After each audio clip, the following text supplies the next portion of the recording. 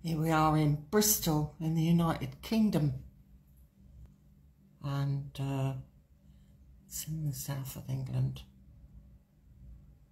See, Cornwall to the left. And London to the right. Now, here's the, here's the goose.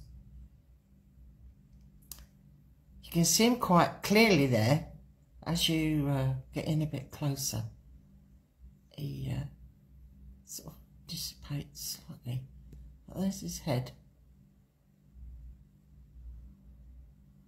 and his body, and it's undoubtedly a goose. And you've got a place called Goose Green, and it's right where his comes out.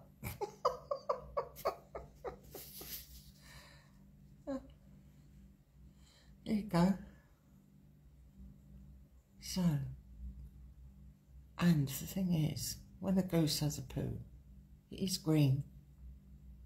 It looks to me as if there's a hand holding him. Could be. I don't know. Tell me what you think. There you go.